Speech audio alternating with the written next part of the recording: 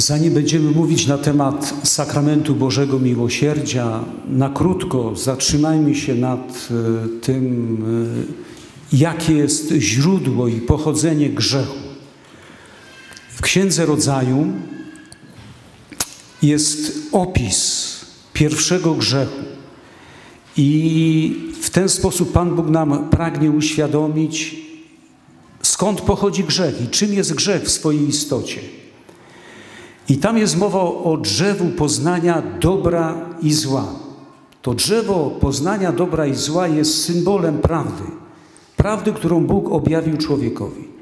A co Bóg mówił do pierwszych ludzi? Do Adama i Ewy. To jest, są pierwsi ludzie, którzy byli bez grzechu, ale swój kontakt z Bogiem mieli tak jak my, poprzez pośrednictwo wiary. Oni wierzyli w to, co Bóg mówił do nich. Mówi w różnoraki sposób. Poprzez głos sumienia, poprzez prawo, które zostało zapisane, prawo Boże zapisane w ich sercach. I co mówił? Człowieku, do szczęścia potrzebny jest Ci tylko, potrzebna jest Ci tylko miłość, a tą miłością jestem ja. Tak naprawdę każdemu z nas do szczęścia potrzebna jest tylko miłość, której na imię jest Jezus Chrystus, której na imię jest Bóg. A więc treść tego prawa, prawa Bożego, wypisana jest w sercach naszych. I czytamy o tym w liście do Rzymian. Treść prawa wypisana jest w ich sercach gdy jednocześnie ich sumienie staje się jako świadek, a mianowicie ich myśli na przemian, ich oskarżające lub uniewinniające. Sumienie człowieka jest, można powiedzieć, tym głosem Bożym, który, który rozbrzmiewa w naszych sercach. Jeżeli jest sumienie prawe, jeżeli jest sumienie czyste. A więc pierwsza próba zakwestionowania prawdy o tym, że do szczęścia człowiekowi potrzebny jest tylko Bóg, tylko miłość. Pierwsza próba, ona y, zrodziła się, została zasugerowana człowiekowi z zewnątrz, przez ojca kłamstwa, przez szatana. Już istniał szatan, czysty duch, który w pewnym momencie swojego istnienia powiedział Bogu nie.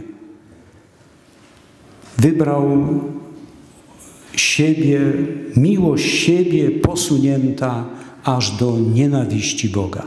Tak się definiuje istotę szatana.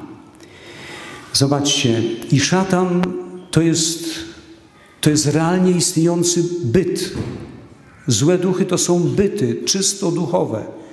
Czytamy e, w katechezie świętego Pawła VI takie słowa. Zło to nie tylko brak dobra, ale to byt żywy, duchowy, skażony, deprawujący. To straszliwa realność, tajemnica budząca lęk, przerażająca rzeczywistość złych duchów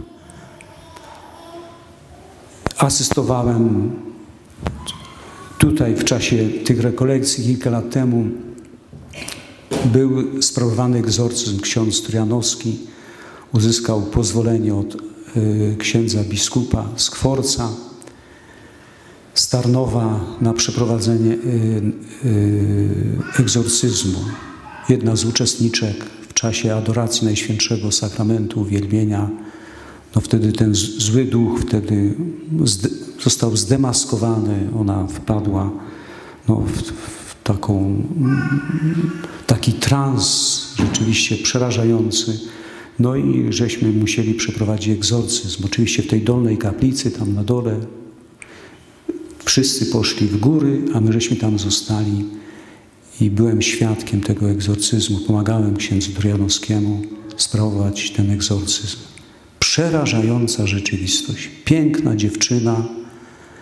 która w momencie egzorcyzmu, jej twarz zamieniła się w twarz, no, no, która budziła naprawdę lęk.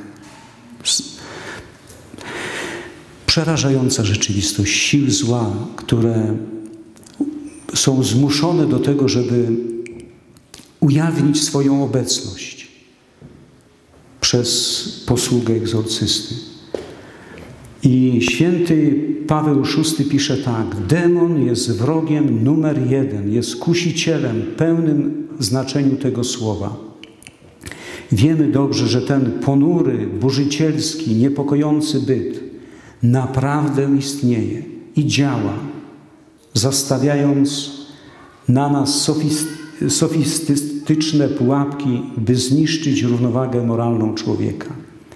Jest on perfidnym hipnotyzerem, który dobrze wie, jak w nas wniknąć przez zmysły, wyobraźnię, porządliwość, by spowodować różnorakie dewiacje. A święty Jan Paweł II w jednej ze swoich katechez na temat złych duchów tak mówił: Nie trzeba się lękać, nazywać po imieniu pierwszego sprawcę zła, złego. Taktyka, jaką stosował i stosuje, polega na tym, aby się nie ujawniać, aby zło wszczepione przez niego na początku rosło z samego człowieka, z samych ustrojów i układów, aby człowiek czuł się niejako wyzwolony od grzechu, a równocześnie aby był w nim coraz bardziej pogrążony. I co mówił zły duch? Co mówił zły duch do pierwszych ludzi?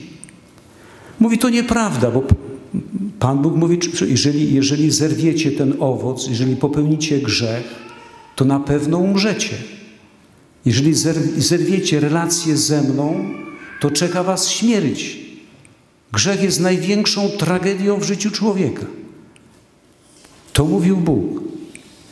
A szatan mówi: Na pewno nie umrzecie.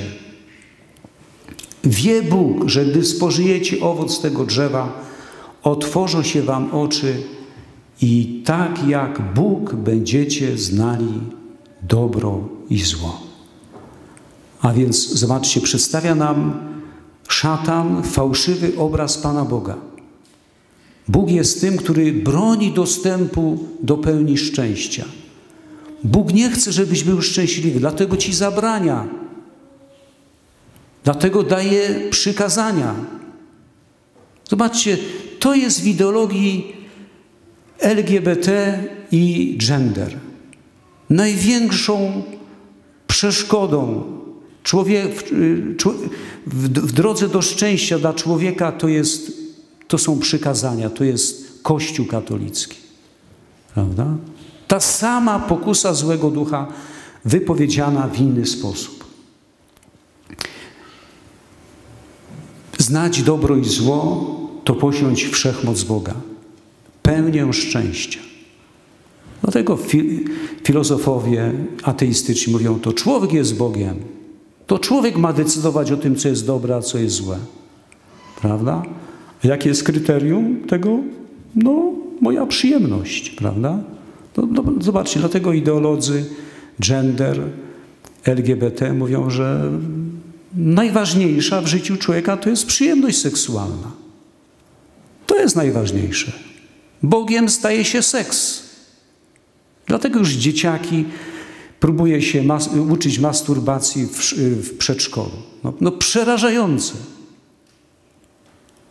Człowiek nie ma duszy, wszystko się sprowadza do poziomu czysto zmysłowego, cielesnego.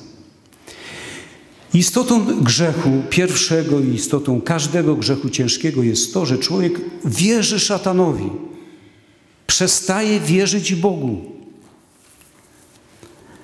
A kłamstwo szatana polega na tym, że Bóg zakazuje mi czegoś, co jest dla mnie dobre. Prawda? A więc trzeba tą opresyjną moralność chrześcijańską zniszczyć, żeby człowiek był wolny. Największym źródłem zła jest opresyjna, opresyjna e, moralność e, Kościoła, którą głosi Kościół katolicki. Tak mówią ideolodzy gender i LGBT. Dlatego nienawidzą Kościoła katolickiego. Dlatego całkowicie odrzucają naukę moralną Kościoła. Moi drodzy, jeżeli człowiek odrzuci Boga, odrzuci źródło, jedyne źródło ludzkiego szczęścia, jakim jest życie i miłość, które ma swoje źródło w Bogu, no to to jest tragedia największa. Wtedy staje się niewolnikiem sił zła i wtedy no, żyje w stanie śmierci duchowej. A więc zobaczcie, w świetle wiary nie ma większego zła niż grzech. I nic innego nie powoduje gorszych skutków dla samych grzeszników, dla Kościoła i dla całego świata. Czytamy w katechizmie Kościoła katolickiego. Największą tragedią w życiu człowieka jest życie w stanie grzechu śmiertelnego. A diabeł chce, żebyśmy się z tym grzechem oswoili, żeby nam było dobrze z tym grzechem, prawda? Bo wtedy on wtedy nami manipuluje i wtedy jesteśmy w jego królestwie. Kto jest w grzechu śmiertelnym, przynależy do królestwa szatana i staje się pośrednikiem tego zła, które on generuje. Człowiek jest wolny i człowiek może Bogu powiedzieć nie. I Pan Jezus mówi tak, i to yy, Alicja Lęczewska zapisała w słowie pouczenia. Wolna, tak mówi Pan Jezus, wolna wola jest tak absolutna.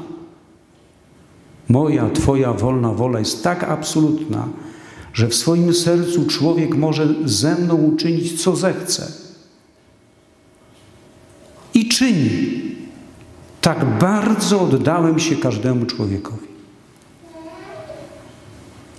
Tak bardzo oddałem się każdemu człowiekowi, bo Jezus pragnie, aby, żebyśmy w sposób wolny wybrali Jego miłość i, i wtedy, jeżeli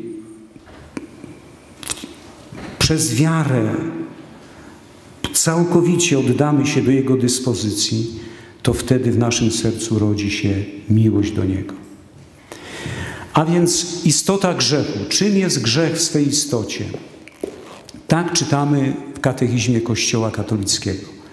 Grzech jest nieposłuszeństwem, buntem przeciw Bogu, spowodowanym wolą stania się jak Bóg w poznaniu i określaniu dobra i zła. Grzech jest miłością siebie posuniętą aż do pogardy Boga. Miłość siebie posunięta aż do pogardy Boga. Ojciec święty Jan Paweł II yy, tak pisze na temat grzechu.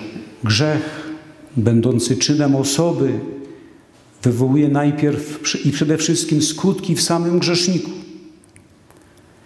Jakie to są skutki? Grzech jest zniszczeniem tego wielkiego dobra, które jest w nas. Jeżeli ja w sposób świadomy i dobrowolny wybieram grzech, to ten grzech niszczy mnie. Wyrządzam sobie największą krzywdę. To są, to są straszne zniszczenia w, w mojej psychice, w, w, mojej duchowości i w moim człowieczeństwie. Na, następuje dezintegracja mojego człowieczeństwa. To jest dramat niesamowity. Dopiero po śmierci będziemy sobie zdawać sprawę z tego w całej pełni, jak przerażającą rzeczywistością jest grzech śmiertelny. I dalej Ojciec Święty pisze, w jego relacjach z Bogiem, a więc ta relacja z Bogiem zostaje zerwana, przerwana. Bogiem, który jest fundamentem naszego życia, w naszej duszy zniszczenia, osłabienie woli, zaciemniając rozum. Dusza, która upada przez grzech, pociąga ze, za sobą Kościół i w pewien sposób cały świat. Dramat Niesamowity. Zobaczcie, a Pan Jezus mówi tak, i te słowa sobie zapisała Alicja Lęczewska, pisze tak. Mówi tak, Pan Jezus, grzech śmiertelny zabija mnie w sanktuarium duszy człowieka, który zgrzeszył. To jest zabójstwo dokonane na Bogu w naszym sercu. Jeżeli, jeśli trwa w grzechu, jestem w jego duszy martwy i je, jego dusza jest martwa. Jest to taki stan, jaki był po mojej śmierci na krzyżu. Morderstwo dokonane na Panu Bogu, grzech śmiertelny, na Chrystusie, żyjącym w moim sercu. Bo istotnie krzyżując mnie w sobie, krzyżuje swoją duszę. Ale dokąd jest na świecie, ma możliwość zmartwychwstania duszy przez pojednanie ze mną. Gdy mnie zapragnie, wówczas zmartwychwstanę w Jego duszy i ocalę Go dla życia wiecznego. I dalej Pan Jezus mówi do niej i do nas mówi, odwrócenie się od Boga, zwłaszcza to definitywne zerwanie i bunt, są samobójstwem i bogobójstwem. Jest to zabicie w sobie tego, co boskie i przez to skazanie siebie na wieczne, straszne cierpienie, tak jak wyrwanie własnego serca. I w tą rzeczywistość grzechu i śmierci wchodzi Bóg w całej pełni, stając się prawdziwym człowiekiem, jednym z nas. Jezus Chrystus, stając się prawdziwym człowiekiem, bierze i wziął z historii każdej ludzkiej osoby wszystkie grzechy na siebie. Wszystkie. Bo był Bogiem. A więc można powiedzieć, że w człowieczeństwie Jezusa Chrystusa skoncentrowało się całe zło świata. Grzechy wszystkich ludzi, wszystkich pokoleń, bo w Bogu nie ma czasu, a więc również moje, Twoje grzechy i grzechy tych ludzi, którzy będą żyli po nas. A więc całe zło świata zostało, można, Jezus wziął na siebie, Bóg bierze na siebie grzechy wszystkich ludzi. Do tego stopnia nas ukochał Bóg. I dlatego On całkowicie niewinny, bezgrzeszny, Bóg człowiek, który nie znał grzechu, doświadczył w czasie męki i śmierci krzyżowej, jak straszliwym cierpieniem jest grzech. Zobaczcie, on demaskuje kłamstwo szatana w ten sposób. Szatan mówi, na pewno nie umrzecie. Dopiero jak grzech popełnicie, dopiero wtedy się wam oczy otworzą, wtedy będziecie szczęśliwi. Wtedy tak jak Bóg będziecie znali dobro i zło. A Pan Jezus, umierając na krzyżu, patrząc na krzyż Jezusa, co ten krzyż nam mówi? Mówi nam, do jakiego stopnia Bóg nas ukochał, i mówi nam, do jakiego stopnia zniszczenia człowieczeństwa prowadzi grzech. To ciało wiszące na krzyżu Jezusa jest obrazem tego zniszczenia naszego człowieczeństwa przez grzech. A więc taka jest prawda grzechu. Zniszczenie człowieczeństwa. I zobaczcie, to są słowa z, z Izajasza. Lecz On się obarczył naszym cierpieniem. On dźwigał nasze boleści. On był przebity za nasze grzechy, zdruzgotany za nasze winy. Zjednoczył się z każdym człowiekiem w tym upadku, jakim jest grzech, pozostając sam bez grzechu. I on w tym momencie kulminacyjnym, w momencie swojej śmierci, kiedy doświadczał wszystkich konsekwencji grzechu, może powiedzieć prawdy grzechu, on najpełniej otwiera się na miłość Ojca. I się dokonuje zmartwychwstanie. Jego ciało umęczone, zmaltretowane, złożone do grobu na trzeci dzień, w poranek wielkanocny, zmartwychwstaje. Jezus, Jego ciało zostaje, można powiedzieć, prze, przeobrażone, przebóstwione i, i dokonuje się przebaczenie wszystkich grzechów. Zło zostaje zwyciężone w sposób ostateczny, definitywny. W momencie zmartwychwstania dokonuje się już definitywne, ostateczne zwycięstwo nad wszelkim złem. Przebaczenie wszystkich grzechów. Przebaczenie, które wyraża się właśnie w tym, że zostaje, można powiedzieć, stworzona na nowo ta zniszczona rzeczywistość przez grzech. Zniszczona rzeczywistość, człowieczeństwo, które zostało zmaltretowane, zniszczone przez grzech w momencie zmartwychwstania, ono zostaje przeobrażone, stworzone, można powiedzieć, na nowo. I to jest największe zwycięstwo. Przebaczenie wszystkich. Nie ma takiego grzechu, którego by Chrystus nie przebaczył. Wszystkie grzechy, wszystkie. Jak upadamy w grzechu, Jezus jest z nami, żeby nas podnieść z tego grzechu. Nigdy nie jesteśmy sami. On jest cały czas z nami i podnosi nas w sakramencie pokuty.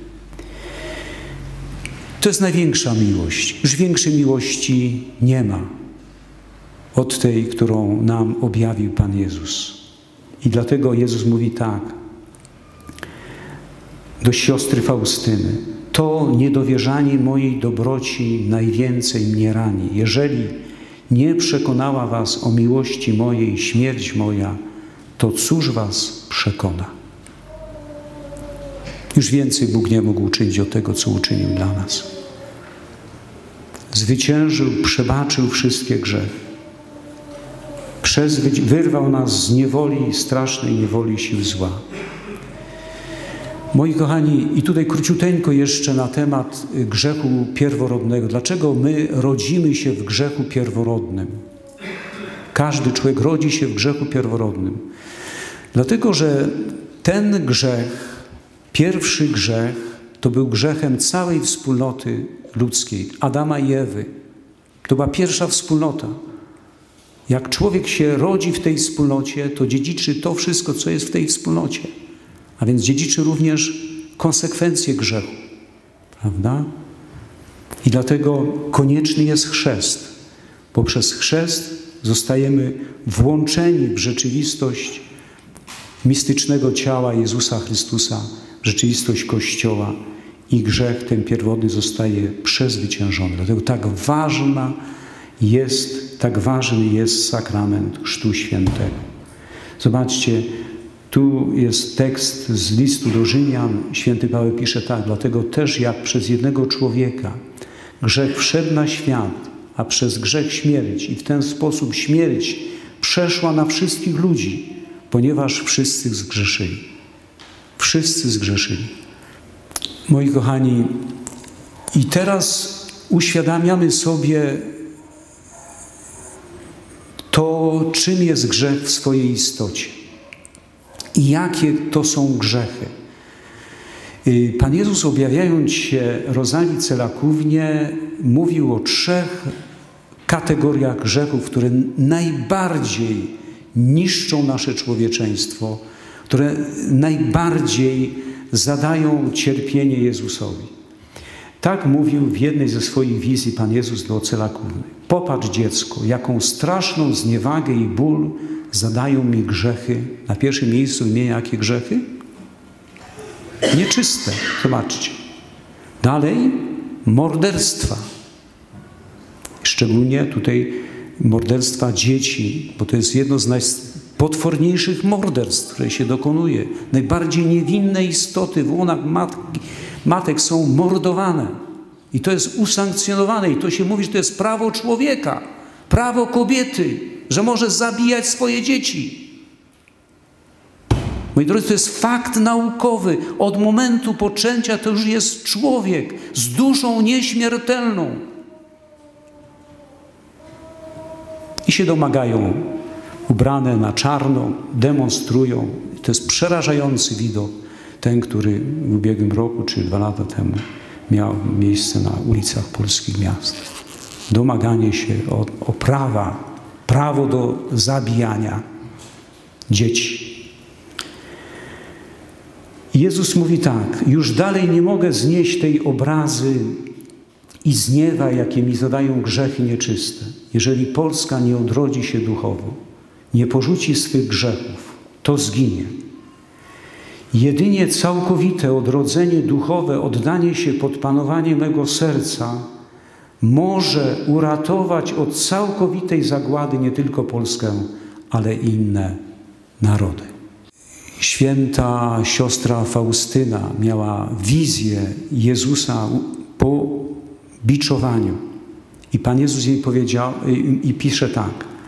Ujrzałam Pana Jezusa przywiązanego do słupa z szat obnażonego i zaraz nastąpiło biczowanie. Wtem rzekł mi Pan te słowa. Cierpię jeszcze większą boleść od tej, którą widzisz. I dał mi Jezus poznać, za jakie grzechy poddał się biczowaniu. Są to grzechy nieczyste. O jak strasznie Jezus cierpiał moralnie, kiedy się poddał biczowaniu. I dalej Pan Jezus mówi tak, że jest to większa, większe cierpienie niż śmierć moja. Widzisz, oto jest męka większa nad śmierć moją. Dlaczego te grzechy nieczyste są tak niebezpieczne, moi drodzy? Tak niszczące nasze człowieczeństwo? Odpowiedź, daje nam sam Pan Jezus przez nauczanie Kościoła katolickiego, bo to Jezus naucza w Kościele katolickim. Poprzez nauczanie oficjalne, urzędowe nauczanie Kościoła. Święty Jan Paweł II zaraz na początku swojego pontyfikatu mówił właśnie na ten temat, na temat sakramentu małżeństwa, na temat tej sfery naszego życia związanej z płciowością, seksualnością. I mówił takie słowa: Bez zrozumienia objawionej prawdy o znaczeniu ludzkiej seksualności nie można zrozumieć chrześcijaństwa. Nie można zrozumieć, czym jest chrześcijaństwo, jeżeli nie zrozumiemy, jaka jest objawiona prawda o znaczeniu ludzkiej seksualności. Co nam Bóg objawił? Bóg nam objawił, że współżycie seksualne jest zarezerwowane tylko dla kobiety i mężczyzny, którzy mają sakrament małżeństwa. W momencie przyjęcia tego sakramentu Bóg swoją stwórczą mocą konsekruje mężczyznę i kobietę i jednoczy ich więzami, które są nierozerwalne. I od tego momentu Jezus Chrystus staje się cały czas, jest cza, cały czas obecny w ich jedności małżeńskiej. I On ich uzdalnia, jeżeli są w stanie łaski uświęcającej oczywiście. On ich uzdalnia do tego, że to współżycie seksualne staje się czym? Staje się uczestniczeniem w życiu i miłości Boga w Trójcy Świętej jedynego. Zobaczcie, więc to jest przede wszystkim doświadczenie, ma być przeżywane jako doświadczenie duchowe jedności kobiety i mężczyzny, męża i żony w Jezusie Chrystusie. Świętość to jest tak jak przyjęcie Komunii Świętej, jak przystąpienie do innych sakramentów. A diabeł co mówi? No człowiek nie ma duszy ludzkiej, absolutnie, nie? To jest tylko, liczy się, liczą się tylko doświadczenia zmysłowe, tylko się liczy ciało, prawda? Więc sprowadza człowieka do poziomu, no, chce go tak, takim zwierzątkiem uczynić, prawda? Żeby tylko kopulował, prawda? Współżycie seksualne ma być wyrazem, znakiem miłości, całkowitego, bezinteresownego oddania się siebie nawzajem w Jezusie Chrystusie na zawsze.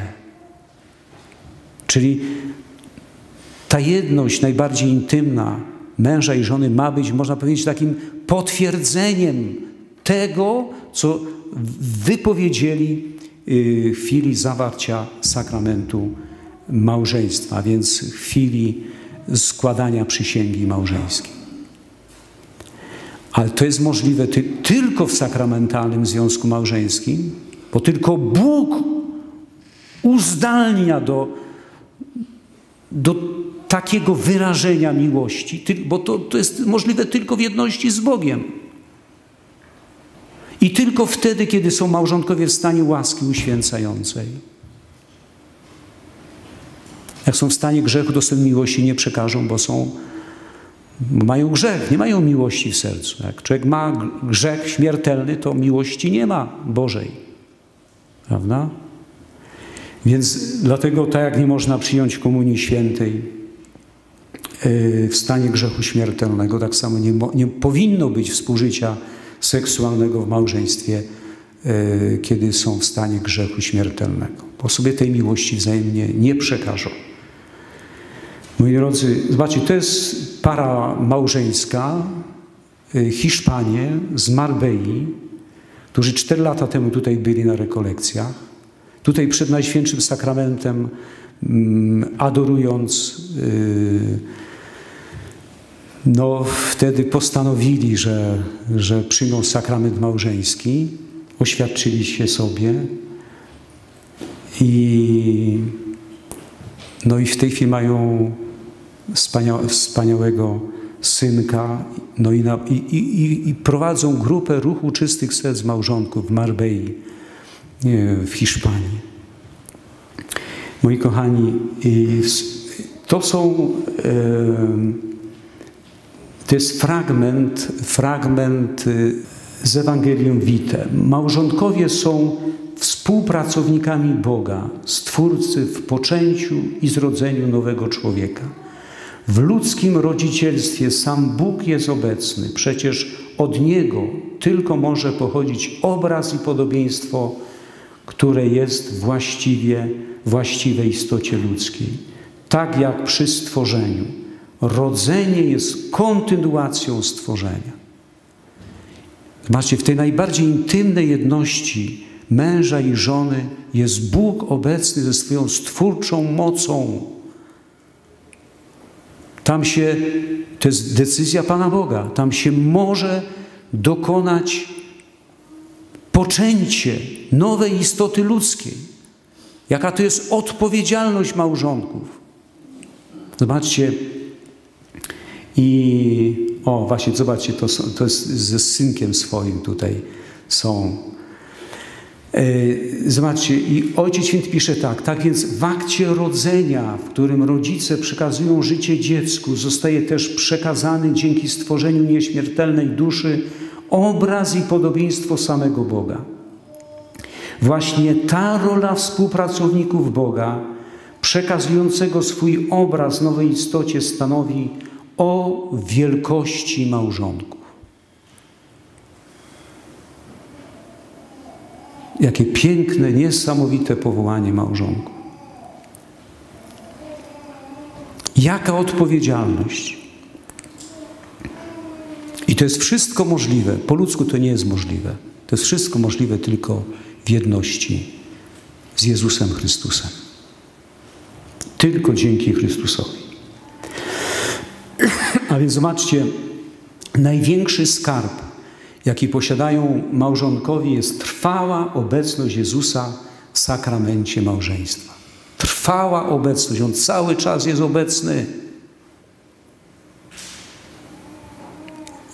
tej ich jedności małżeńskiej. Jak są problemy, a są, to trzeba z tymi problemami do Jezusa przychodzić, te problemy Jezusowi przedstawiać. Jezus te problemy rozwiąże, wszystkie problemy.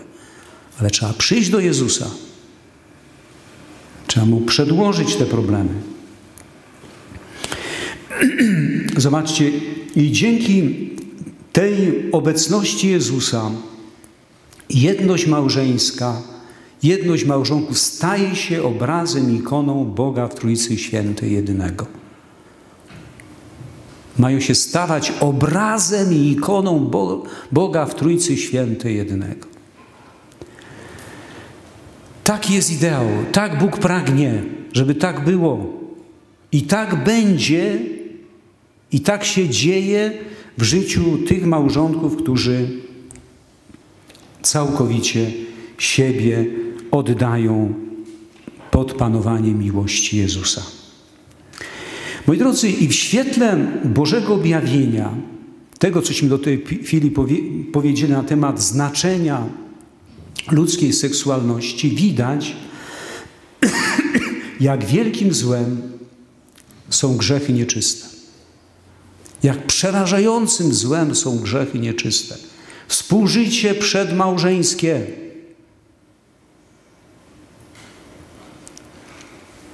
Żyją tak, jakby byli mężem i żoną. Jak oni się wzajemnie ranią, jak, jak się wzajemnie krzywdzą, zdrady małżeńskie, akty homoseksualne. To nie jest żadna miłość, moi drodzy. To jest perfidny egoizm. Pornografia, antykoncepcja, masturbacja i tak dalej. Możemy te grzechy wymieniać. Jak one niszczą naszą relację z Panem Bogiem, zabijają miłość, pogłębiają egoizm i wprowadzają człowieka na drogę, która mo może go doprowadzić do piekła, do utraty życia wiecznego.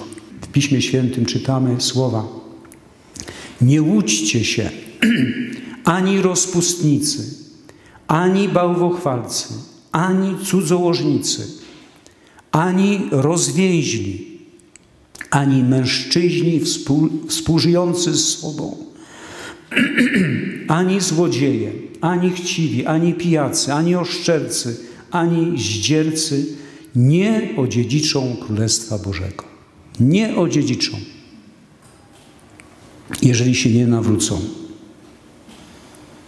Prawda? Zobaczcie, tutaj egzorcyści podają klasyfikację grzechów najbardziej niebezpiecznych, które, poprzez które dokonuje się zniewolenie człowieka przez siły zła, aż do opętania włącznie. To do pierwszej kategorii należą różnego rodzaju grzechy nieczyste. Jakie? Homoseksualizm, pedofilia, pornografia, zdrady małżeńskie itd. Tak do drugiej kategorii należą zabójstwa, aborcja, nienawiść oraz różnego rodzaju nałogowe uzależnienie od narkotyków, alkoholu i innych środków mających podobny, zniewalający skutek. Trzecią kategorią grzechów jest korzystanie z usług wróżbiarzy, magów, astrologów, uzdrowicieli, praktykowanie okultyzmu i magii, wywołanie duchów, wróżbiarstwo i tym podobne praktyki. Czwartą kategorią grzechów, które prowadzą do zniewolenia przez złe duchy, jest uczestniczenie w różnego rodzaju sektach z udziałem praktyk inicjacyjnych, a także przynależność do masonerii, satanistów lub świadków Jehowej. Są te cztery kategorie grzechów, o których egzorcyści mówią, które powodują, które powodują mm, zniewolenie do opętania włącznie przez siły zła, przez szatana. Moi kochani, zwycięstwo dokonało się w sposób ostateczny, definitywny e, w momencie śmierci i zmartwychwstania Jezusa Chrystusa. Zostały przebaczone wszystkie grzechy. Kiedy Pan Jezus objawił się po raz pierwszy apostołom yy, po zmartwychwstaniu, to wtedy tchnął na nich i powiedział: Weźmijcie Ducha Świętego, którym odpuścicie grzechy, są mi odpuszczone, a którym zatrzymacie, są im zatrzymane. A więc Jezus ustanawia sakrament Bożego Miłosierdzia, sakrament przebaczenia wszystkich grzechów. Wszystkie grzechy zostają przebaczone w momencie przyjęcia, przystąpienia do tego sakramentu. I dokonuje się cud Jest to jeden z największych cudów. Święty Augustyn pisze tak: Odpuszczenie grzechu jest większym cudem niż stworzenie świata. Tylko Bóg może odpuszczać grzech. Kiedy zbliża się do spowiedzi, to są słowa Pana Jezusa, które zapisała święta Faustyna. Wiedz o tym, że ja sam w konfesjonale czekam na Ciebie. Zasłaniam się tylko kapłanem, lecz sam działam w duszy. Jak idziemy do spowiedzi, idziemy do Jezusa. Jezusowi wyznajemy nasze grzechy. To nieważne, jaki ksiądz. Ważne jest przede wszystkim to, że ja, że Jezus posługuje się sakramentem kapłaństwa, które zostało złożone w serce tego człowieka, tego księdza. Kiedy zbliża się do spowiedzi, wiedz, że ja sam w konfesjonale czekam na Ciebie. Zasłaniam się tylko kapłanem, lecz sam działam w duszy. I mówi Pan Jezus tak, nie trzeba odprawiać jakiejś dalekiej pielgrzymki, składać jakichś zewnętrznych obrzędów, ale wystarczy przystąpić z wiarą do stóp zastępcy mojego, wyznać mu swoją nędzę i się ten cud dokonuje. Dobrze odbyta spowiedź jest źródłem największej radości, bo to jest uczestniczenie w zmartwychwstaniu Jezusa. Jeżeli szczerze się wyspowiadamy, jaka to jest później wielka radość, jakbyśmy jakie niesamowite ciężary z siebie zrzucili, prawda? A diabeł robi wszystko, żeby się bać pójść do spowiedzi. Wzbudza taką niechęć, obawę, lęk. Dlatego ten lęk trzeba przezwyciężać, potraktować to jako pokusa złego ducha, bo zły duch robi wszystko, żebyśmy się nie spowiadali albo spowiedź odkładali, albo nie, nie mówili całej prawdy, bo co ksiądz sobie o tobie pomyśli? Ksiądz nic sobie nie pomyśli, bo to przecież ja idę do Jezusa. Moi drodzy, yy, tylko Bóg przebacza grzech, ponieważ Jezus jest Synem Bożym, mówi o sobie, Syn Człowieczy ma na ziemi władzę odpuszczania grzechu. I wykonuje tę boską władzę. Odpuszczone są Twoje grzechy. Ponadto na mocy swego boskiego autorytetu Jezus daje tę władzę ludziom, by ją wykonywali w Jego imieniu. Także moi kochani, jak to dobrze, że jest sakrament kapłaństwa. Że są kapłani, że możemy pójść do spowiedzi. Zobaczcie, dlatego taki atak jest właśnie, zobaczcie, na Eucharystię, na Matkę Bożą i na kapłanów. Taki atak sił zła.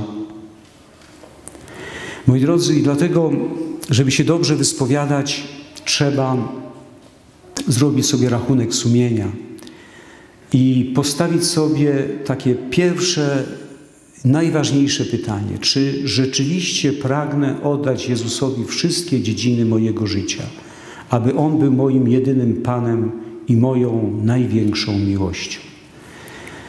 Czy ja rzeczywiście chcę, żeby On był moim jedynym królem mojego serca, żeby On był wszystkim dla mnie?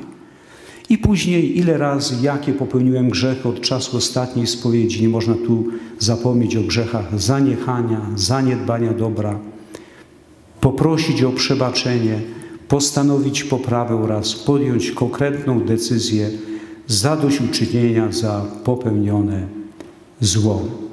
Moi kochani, i na koniec słowa Jezusa, które zapisała święta siostra Faustyna.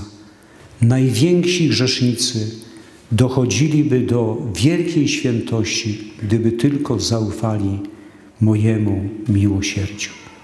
Im większa nędza, tym większe ma prawo do mojego miłosierdzia. Niech pokładają w nadzieję w miłosierdziu moim najwięksi grzesznicy. Oni mają prawo przed innymi do ufności w przepaść miłosierdzia mojego. O gdyby znali grzesznicy miłosierdzie moje, nie ginęłaby ich tak wielka liczba. Łaski z mojego miłosierdzia czerpie się jedynym naczyniem, a nim jest ufność. Im dusza więcej zaufa, tym więcej otrzyma. Mów duszom grzesznym, aby się nie bały zbliżyć do mnie.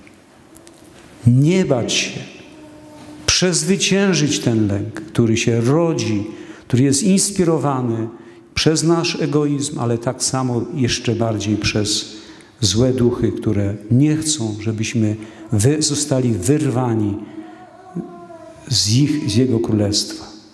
Moi kochani, dzisiaj wielki dzień, dzień Bożego miłosierdzia i możliwość przystąpienia do sakramentu pokuty po obiedzie. Będzie o godzinie 14. Y, o godzinie 14 krótka, krótkie nabożeństwo pokutne ze stajem Najświętszego Sakramentu, a później okazja do tego, żeby iść do Jezusa, tak jak syn marnotrawny i wyznać Mu wszystkie swoje, rzucić się w ramiona kochającego Ojca.